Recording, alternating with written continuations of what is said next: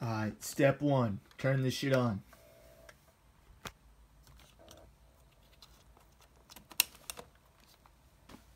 Cool. Now that shit's on. Step two. What you want to do, you see this button right here? Usually just press it to view the clips like that. There's the clips.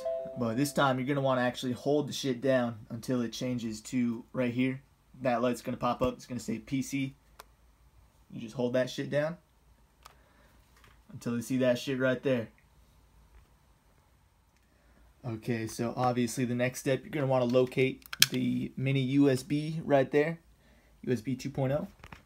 And you're going to take this whole thing and you're going to plug that shit in. Alright, so once you plug this thing in here,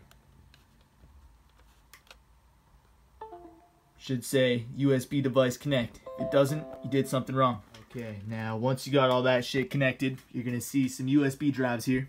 Depending on how many P2 cards you actually have in the camera, there's going to be either one or two right here that have the same file name under contents. Now what you're going to want to do is open up a new folder. Alright, so I'm here on my external hard drive. That's usually what you're going to want to save the shit to. Otherwise your computer is going to run like shit. So you got a new folder. I'm just going to call this P2-ish. Alright, cool.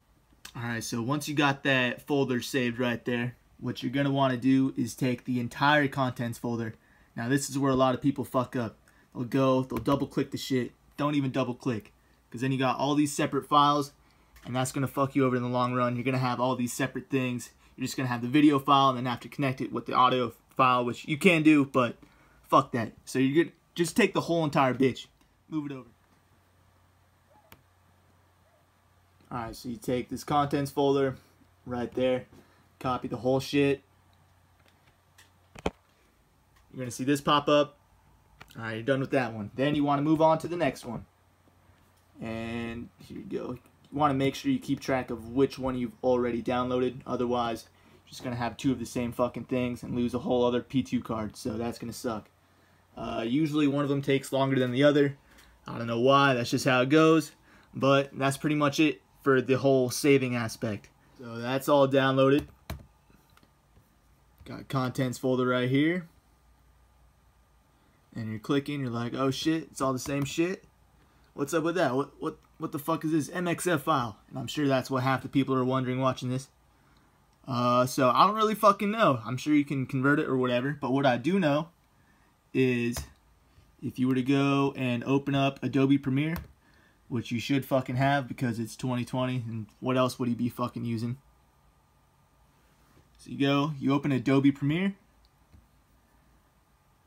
go into new project, uh, just fucking name it whatever the fuck you need to name it. And when you're picking a preset, you go down to DVC Pro HD right there.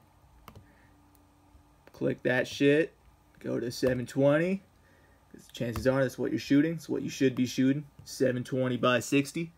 Otherwise, I don't know what the fuck you're doing. Okay. So you got all that shit there. Okay, so you're here. Adobe Premiere. It's fucking great. Cool. So open up this folder. And damn, look at that. They're just fucking magically there. I don't know how it works. Uh, Adobe Premiere just it just got it like that. So you fucking just drag and drop Got all those fucking audio files. Ugly as shit, I know. Sucks. And yeah, you're good to go. You don't have to worry about all those MXF files and matching up the audio to the video. Adobe just does it all for you. I don't know how or why, but that's how it goes. Um, one other thing to note with these P2 uh, cards and shit. A lot of people, they want to go and try to rename this shit. What I found is once you get rid of these numbers, it fucking corrupts the whole entire footage, everything. So I mean, personally, I don't fucking rename it just because I can just look at the shit on Adobe Premiere and it's fine. I don't really mind having to search it. But I know some people will go and they'll keep the numbers but just put something in front of it. So if you want to do that, do that. Personally, I don't give a fuck. I just run it how it is, keep the numbers. Uh, it's like a 12-year-old camera. It's going to come with setbacks, obviously. If you don't like it, just get a new fucking camera. And yeah, that's pretty much it on me. I said you better bring the Navy cause I'm finna bring the Army. Get